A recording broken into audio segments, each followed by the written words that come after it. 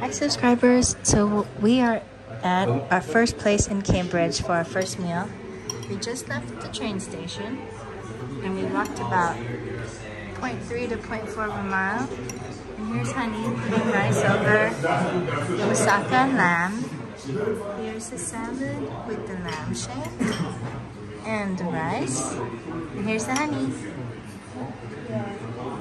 It's not Wetherspoons.